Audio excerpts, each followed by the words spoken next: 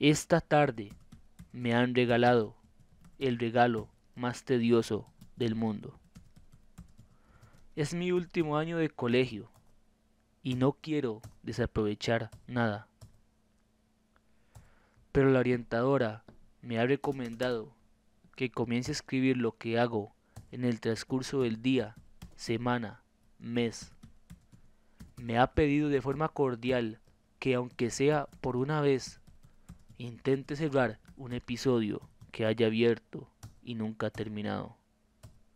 Creo sinceramente que esto es solo una mierda más que me impulsa a no confiar seriamente en ella.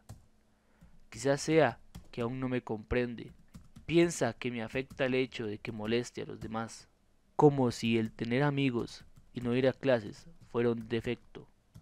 Pero lo que no se imagina es lo que atraviesa por mi mente cuando ella habla. Siempre que entabla la más mínima vocal, sueño con ser libre, libre como las hojas cuando caen de los árboles y son arrastradas por el viento hacia ninguna parte en verdad. Así de libre deseo ser, y solo pienso eso cuando ella entabla la más mínima oración.